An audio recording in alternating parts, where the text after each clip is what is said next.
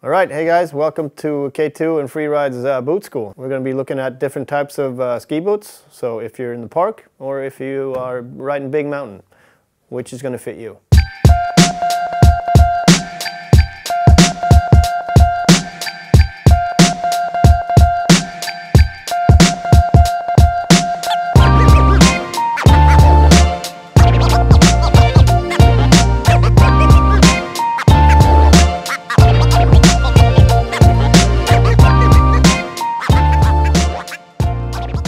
All right, talking about what type of boot uh, you're going to ride in, uh, there is the uh, three-piece boot and the two-piece boot.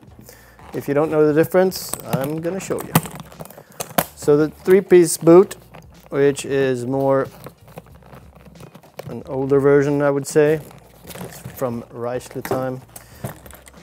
So this is one, and you have the shaft is two, and the bottom part, which is three. And in a classic boot, there's the bottom part and the shaft. That's the main difference. And what's, uh, what's what? So here, the tongue is where the flex is. This will give you uh, a smoother, the, the flex is softer in the beginning, so it gets harder and harder harder. So this is a really good boot for park riding. Uh, if you're a hard charging guy that wants to ski with your family as well, uh, you'll be able to make easy turns because it's easy entry uh, into the turn with a, a, not as hard flexing boot in the start of the turn, which is uh, a classic boot has more of a, if you say 130 flex, it is 130 flex. Of course, it's going to be a little softer in the beginning, but not in the same range as this one. So that's the major difference between the three-piece and the two-piece.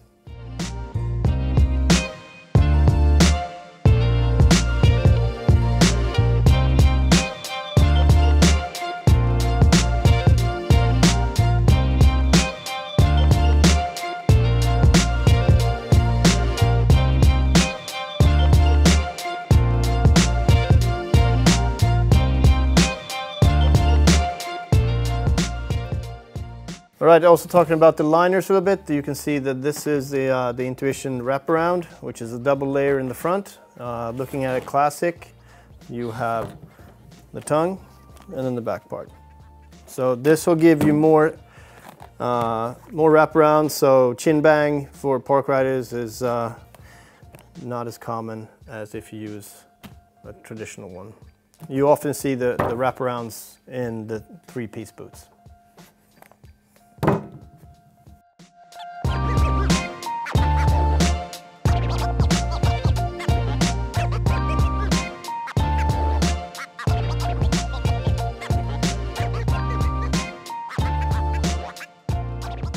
All right, talking more about what kinds of boots are out there today. Um, there is uh, a big segment today is the free ride with uh, tech inserts for uh, randonnée skiing.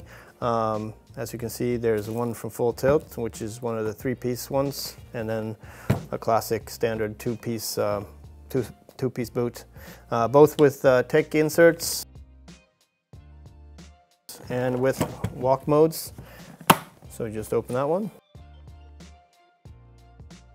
And this one works like this.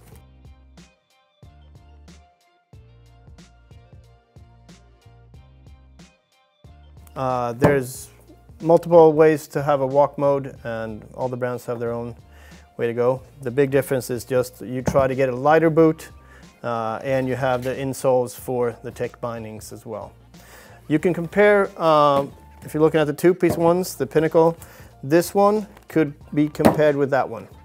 The big difference here is a little bit of weight and uh, the walk mode and the tech inserts. So if you're if you're trying to expand and you know go broader skiing wise, you don't have to stick with the normal boot. You can get the, the tech inserts boot and then you have that option to go out there with randonnée gear as well.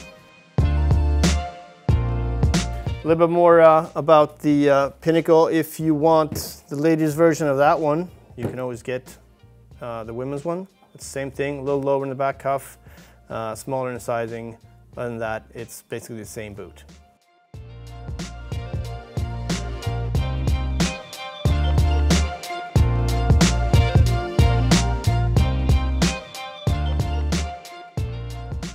Um, if you're looking further on uh, with the uh, classic skiing boots, this one for the men and this one for the ladies. So classic for ladies is it's a little lower in the back cuff.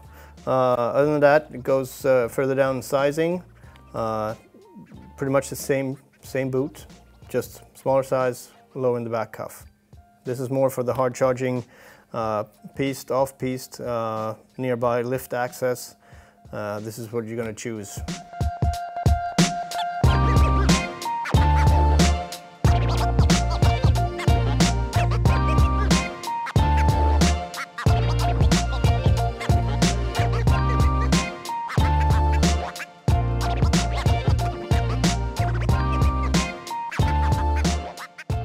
Park Riders, we've shown this one before. Uh, the three-piece boot with the wraparound liner.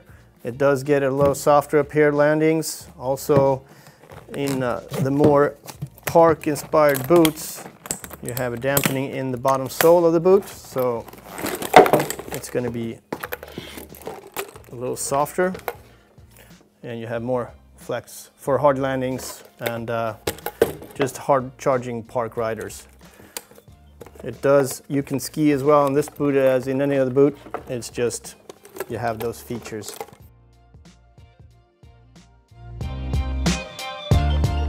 All right, talking about uh, flex index on boots. Um, I would say there's not really standard but because there's a difference if you have 130 flex in one model, there's not, it's not going to be exactly the same in the other or different brand, so you have to find your way a little bit, but 130 is a, a pretty decent hard stiff boot, so if you're hard charging uh, Christine Hagin, you'll be definitely riding at least 110 up to 130.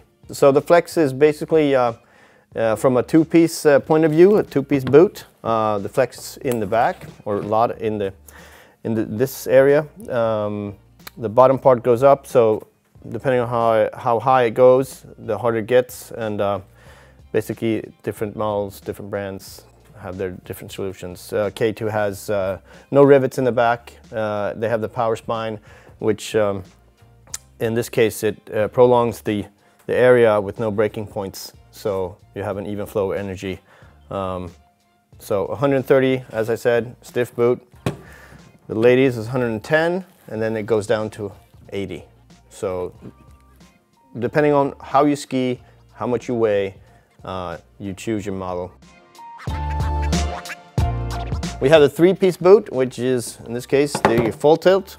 Um, they have a different, uh, a different tongue system as, um, as we talked about earlier. So the flex is indexed in the tongue on this one, and it goes from uh, 6, 8, 10 so a 10 would be about 130. And then you could just count backwards and you find your way. You can actually change these tongues so you can have this boot with a 10, with a 4, with a 6, whatever you want to have. Just clip it out, comes loose. And here there's a little chart that says which uh, flex index has. So a, a 10 tongue is 130. It goes down from there. All right. All right, guys, uh, that was all from the Boot School from this episode. If you want to see more episodes, check out here. If you want to see some more video clips from Freeride, check out here. And don't forget to subscribe.